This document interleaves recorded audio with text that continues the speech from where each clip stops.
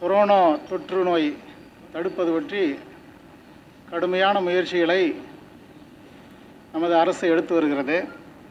அந்த வகையிலே இன்று ஒரு எழுபத்தி ஏழு கேஸ் பாசிட்டிவாக டெஸ்ட் பண்ணப்பட்டிருக்கிறது.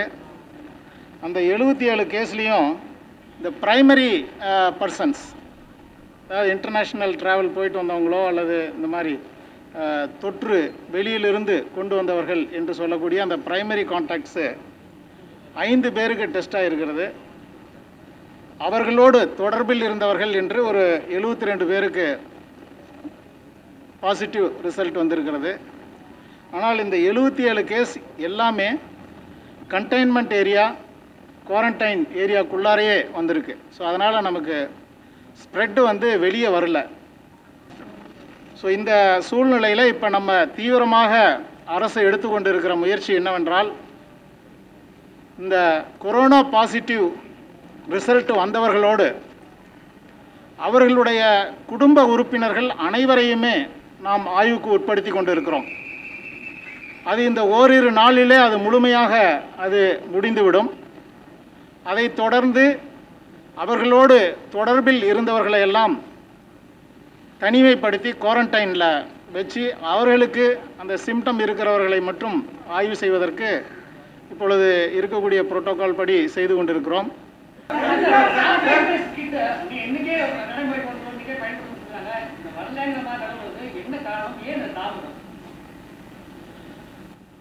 ரேபிட் டெஸ்ட்டு நே நேற்று நமக்கு வந்திருக்கணும்.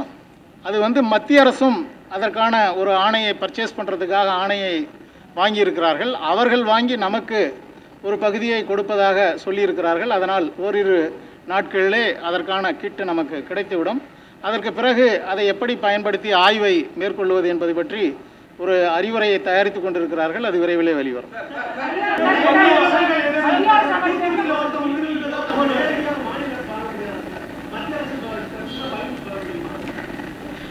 பிபிஇ நான் இப்போ அந்த மருத்துவ உபகரணங்களை பொறுத்த வரைக்கும் நம்ம ஏற்கனவே போன இதுலேயே நான் சொன்னேன். ஜனவரி எண்டில் சைனாவில் பிரேக் அவுட் ஆன உடனே தமிழ்நாட்டில் நம்ம அந்த மருத்துவ உபகரணங்களை டிஎன் எம்எஸ்சி அவங்க மூலியமாக உமாநாத்துங்கிற ஒரு ஐஏஎஸ் ஆஃபீஸர் இருக்கார். அவர் இதற்கான ஒரு ப்ரி ப்ரிப்பரேட்டரி ஒர்க்கை ஆரம்பிச்சிட்டார். ஸோ பிபிபி பிபிஇயை பொறுத்த வரைக்கும் நம்ம மத்திய அரசு வழங்குவதையே நாம் எதிர்பார்த்து இல்லை. நம்மளே வந்து ஆர்டர் பண்ணி இப்போ திருப்பூரில் சில உற்பத்தியாளர்களை தொடர்பு கொண்டு அவங்களுடைய உற்பத்தியை நாம் நேராக பெற்றுக்கொண்டு இருக்கிறோம் ட்ரிபிள் மாஸ்கையும் நம்ம வந்து அந்த மாதிரி தான் பண்ணிகிட்டு இருக்கிறோம் வெண்டிலேட்டரும் அப்படி தான் பண்ணிகிட்டு இருக்கிறோம் நம்ம நேரடியாகவே ப்ரொக்யூர் பண்ணியிருக்கிறோம். மத்திய அரசுலேருந்து கிடைக்கிறதையும் நம்ம எதிர்பார்த்துருக்குறோம். அவங்ககிட்டையும் கேட்டுட்ருக்குறோம் ஆனால் அதற்கு மட்டும் எதிர்பார்க்காம நம்மளுடைய முயற்சியை நம்ம எடுத்துக்கிட்டு இருக்கிறோம் அது மாதிரி தான் டெஸ்டிங் கிட்டும் நம்ம நேரடியாகவே ஆர்டர் ப்ளேஸ் பண்ணியிருக்கிறோம். அதற்கான சப்ளையும் வந்துகிட்டு இருக்குது ஏன்னா சில நேரத்தில் வந்து என்னன்னாக்கா ஸோ மச் ஆஃப் ப்ரெஷர் வரும் பொழுது அவங்க அங்கே கொடுத்துட்டு அங்கேருந்து கொஞ்சம் நமக்கு கொடுக்குறாங்க. நமக்கு நேரடியாகவும் அவங்க சப்ளை பண்ணுறதுக்கு உறுதி அளிச்சிருக்கிறாங்க. அதுவும் நமக்கு வரும். ஸோ அதனால் ஒன்றும் பிரச்சனை இருக்காது. மருத்துவ உபகரணங்களில் வி ஆர் வெல் ப்ரிப்பேர்டு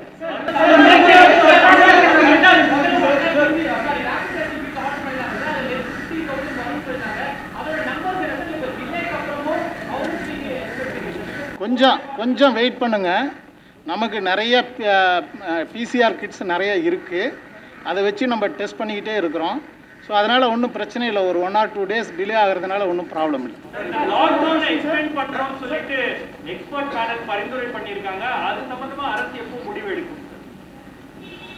நேற்று மாண்புமிகு முதலமைச்சர் அவர்கள் பன்னெண்டு குழுக்கள் நம் மாநில அரசு அமைத்து அமைத்திருக்கிறது. அவர்களிடம் அவர்களிடமும் கருத்துக்களை எல்லாம் கேட்டார்கள். அவர் பல்வேறு வல்லுநர்களிடமும் இந்த கருத்துக்களை கேட்டுக்கொண்டே இருக்கிறார்கள். இன்று குறிப்பாக இந்த தொற்றுநோய் வல்லுநர்கள் மற்றும் இந்த பிரச்சனைகளிலே மருத்துவர்கள் இதில் இந்த ஆய்விலே திறமை உள்ளவர்களை எல்லாம் இன்று நேரடியாகவும் அவர்களோடு வீடியோ கான்ஃபரன்சிங் மூலமாகவும் அவர்களை கருத்துக்களை இன்று கேட்டறிந்தார்கள். அவர்கள் அவர்களுடைய கருத்துக்களை எல்லாம் இன்று சொல்லியிருக்கிறார்கள். அவர்களுடைய ஒரு பொதுவான கருத்து என்றால் என்னவென்றால் இந்த நோய் ஒரு கட்டுக்குள் வந்தால்தான் இந்த லாக்டவுன் என்பதை எடுத்தால் பிரச்சனை இருக்காது.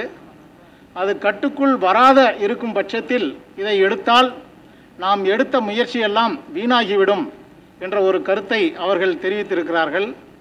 அதை மாண்புமிகு முதலமைச்சர் அவர்கள் அதை கவனமாக பரிசீலித்து வருகிறார்கள். இது குறித்து நாளை பாரத பிரதமருடன் ஒரு காணொளி காட்சி மூலம் ஒரு ஆய்வும் இருக்கிறது. அதற்கு பிறகு இது பற்றிய ஒரு சரியான முடிவை மாண்புமிகு முதலமைச்சர் அவர்கள் அமைச்சரவை கூட்டத்திலே விவாதித்து ஒரு முடிவை அறிவிப்பார்கள்.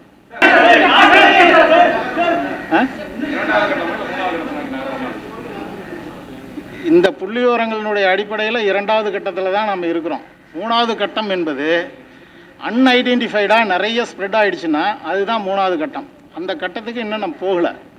இந்த ரெண்டாவது கட்டத்திலேயே இருக்கிறோம். அந்த மூணாவது கட்டத்துக்கு போகக்கூடாது என்பதற்காகத்தான் இந்த கடுமையான முயற்சிகளை எல்லாம் நாம் எடுத்துக்கொண்டிருக்கிறோம் சார், பாதுகாப்பு பாதுகாப்பு சொல்லிருக்கீங்க படைக்கு வந்து இதுவரைக்கும் எந்த விதமான ஒரு காப்பீடும் பண்ணல. அது வந்து ஏதாவது எனக்கு வந்து மற்றவங்களுக்காக காப்பீடு வந்து காவல்துறைக்கு காப்பீடு சொல்ற இந்த இந்த பணிகள் இருக்கிறதுனால ஆனா ஊர்காவல் படைக்கு வந்து அந்த படைகளும் தொடர்ந்து பணி இந்த பயணித்துட்டு இருக்காங்க. ஆனா அவங்களுக்கு எந்த விதமான ஒரு காப்பீடு பண்ணவே மாண்புமிகு முதலமைச்சர் அவர்கள் நேற்று மிக தெளிவாக சொல்லியிருக்கிறார்கள். அதாவது இந்த கொரோனா வைரஸ் போராட்டத்திலே ஈடுபட்டு ஈடுபட்டவர்களுக்கு ஈடுபட்டு இருக்கக்கூடியவர்களுக்கு ஏதேனும் நோய் தொற்று ஏற்பட்டால் அவர்கள் முழு செலவையும் அரசை ஏற்றுக்கொள்ளும். அதே மாதிரி ஒரு அசம்பாவிதமாக உயிரிழப்பு ஏ- ஏற்பட்டால் அவர்களுடைய குடும்பங்களுக்கு பத்து லட்ச ரூபாய் வழங்கப்படும். அவர்கள் குடும்பத்தில் இருக்கிற இருக்கிறவர்களுக்கு தகுதிக்கேற்ப அலுவ அரசு பணியும் வழங்கப்படும் என்று சொல்லியிருக்கிறார்கள். இதையெல்லாம் மாண்புமிகு முதலமைச்சர் அவர்கள் தன்னுடைய மனதிலே வைத்திருக்கிறார்கள். அது எந்த யாருக்கும் இந்த மாதிரி வரக்கூடாது என்பதுதான் எங்களுடைய ப்ரேயர். கொரோனா வைரஸை பற்றின லேட்டஸ்ட் அப்டேட்ஸுகளை உடனுக்குடன் தெரிஞ்சுக்க நியூஸ் கிளிச் சேனலுக்கு சப்ஸ்கிரைப் பண்ணுங்க. நியூஸ் கிளிச்சோட இணைஞ்சிருக்க பக்கத்தில் இருக்க பெல் ஐக்கானையும் ப்ரெஸ் பண்ணுங்கள்